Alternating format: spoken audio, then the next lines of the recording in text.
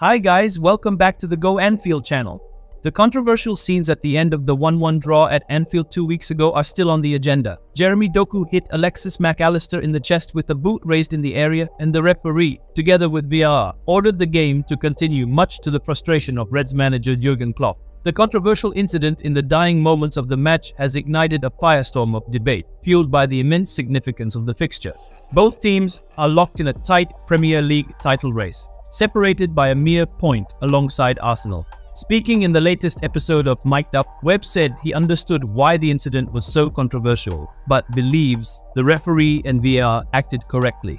Webb made a completely contradictory statement regarding the game's rule, because anyone who understands even minimally about football knows that such a play outside the penalty area would be a foul and a yellow card. But why not call the foul inside the penalty area? Well, for Mr. Webb, the play was clean. See what he said has split a lot of opinion, hasn't it?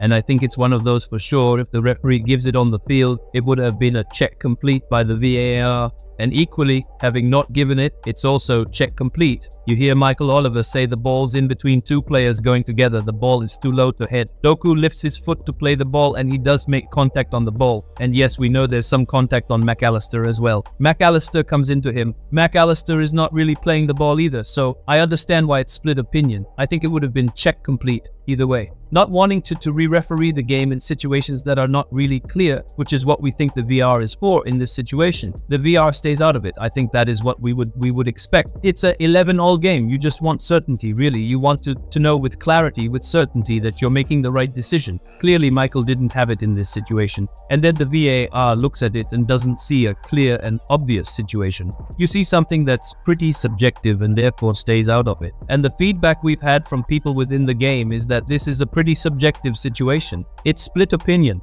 This is a clear foul and a yellow card in any position on the field. While he made contact with the ball, the reckless positioning of his foot created a dangerous situation. It should have been a penalty. Any true football fan would likely agree with this call. Webb was better off keeping quiet than talking so much nonsense.